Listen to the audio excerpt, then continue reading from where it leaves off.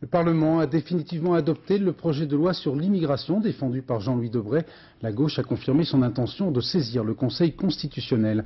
Ce matin, Eric Raoult a présenté en Conseil des ministres un programme d'action pour favoriser l'intégration des étrangers en situation régulière, bien sûr. Olivier Carouf.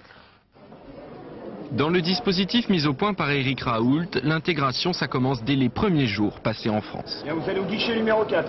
En plus des papiers, les immigrés recevront un contrat d'intégration. En fait, un guide des droits et devoirs de chacun sous forme de fiche. Il contiendra aussi des renseignements pratiques, notamment sur l'apprentissage du français.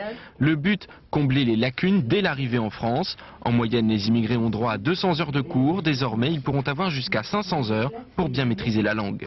Autre priorité, le logement, en particulier les foyers de travailleurs. 20 au moins sont vétustes et surpeuplés. Le gouvernement se donne 5 ans pour les réhabiliter et 10 ans pour restructurer l'ensemble du système d'hébergement des travailleurs immigrés. Dernier point noir de l'intégration, les procédures de naturalisation. L'administration met en moyenne deux ans à examiner les dossiers, délai que le ministre veut ramener à un an maximum. Et si le dossier est accepté, la remise du précieux document se fera lors d'une cérémonie solennelle, un peu comme cela se pratique aux États-Unis.